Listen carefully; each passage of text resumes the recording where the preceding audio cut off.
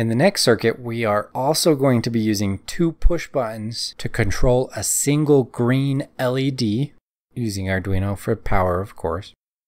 Uh, the difference being this time, instead of wiring up the push buttons in series, we are going to wire them up in parallel and see the difference in behavior between this circuit and the last circuit.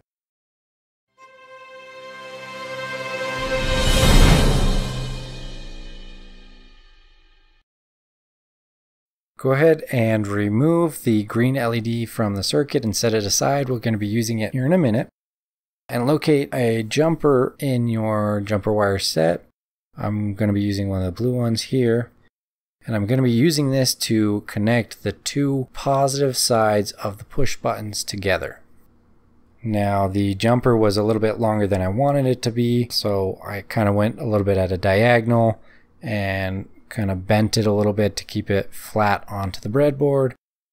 This was just a quick fix. I didn't want to have to go and find the right size jumper wire or move push buttons around to get the current wire to be the right length I needed uh, to make it look pretty, but uh, this is good enough.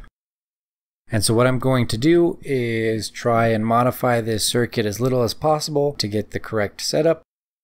It seemed easier to me since I already have the two middle pins of the push buttons connected together to just make that one of the connections, whether the positive or the ground, in this case the ground, and then to connect the outer two pins together and make that the positive side of the circuit.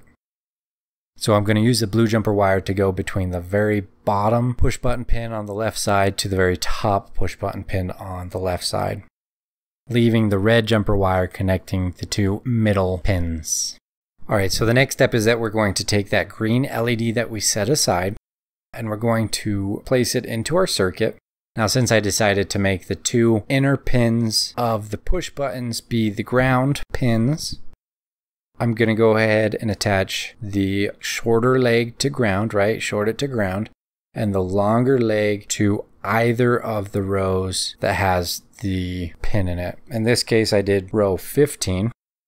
Now, something to keep in mind is that since that jumper is there between row 15 and row 13, it means that the long leg of the LED, both sides of the red jumper, the push button pin in row 15 and the push button pin in row 13 are all connected at the same point, right? There's no load across any of those connections. Now, similarly on the other side of those switches, since I have the blue jumper wire going between row 11 and row 17, it means that one side of the resistor, both sides of the blue jumper wire, the push button pin in row 11 and the push button pin in row 17 are all connected at the same point, right? There's no load between any parts of that circuit, so all of those are connected together. And so if we follow our power from the red cable, uh, it's going to go down the rail into one side of the resistor. It's going to go over the resistor, and then it's going to power the outer pins on both push buttons. When the push buttons are pressed, connecting the circuit, it will allow current to flow through the push buttons and then into the inner pins and through the LED and then out to the ground through the black cable. So I want you to think before testing it, what's going to happen if neither of the buttons are pushed? What's going to happen if the top button is pushed only? What's going to happen if the bottom button is pushed only? And what's going to happen if both are pushed? Go ahead and pause the video if you need to and give it a quick 5-10 seconds to think about it. And then we'll go ahead and we will test it out. All right, so we're going to go ahead and apply power to our Arduino by connecting the USB cable from the Arduino to the computer. And that's going to power the Arduino, and the Arduino is going to power the circuit.